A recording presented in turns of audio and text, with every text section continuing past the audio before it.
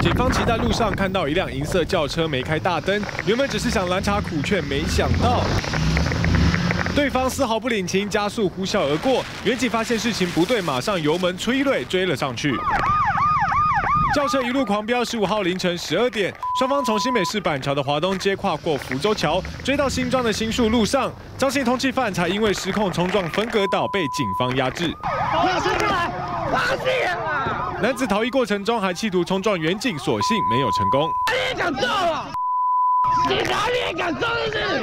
张姓嫌犯撞车后一度要上计程车逃跑，被围捕的大批警力给压制。警方从他车上搜出一把改造手枪及海洛因等毒品，意图拦下计程车啊。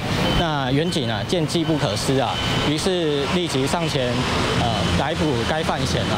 原本只是基于行车安全劝男子要开头灯，没想到竟然逮到一名枪炮通缉犯。看看警匪追逐的惊险场面，警方用生命维护治安，不愧是人民保姆。记者王清玉、陈如群，新北市报道。